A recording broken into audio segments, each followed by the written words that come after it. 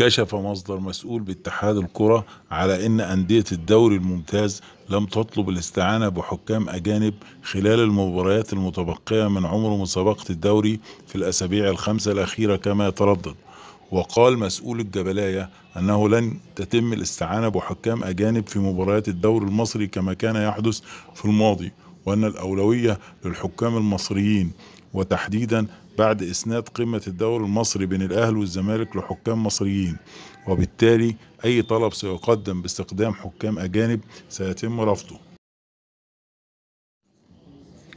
وبناء عليه تفاضل لجنة الحكام باتحاد الكرة بين الثلاثي محمد الحنفي وجهاد جريشة ومحمود عاشور لإدارة مباراة الغد بين الأهلي والإسماعيلي ضمن منافسات الأسبوع التاسع والعشرين من مسابقة الدوري المصري.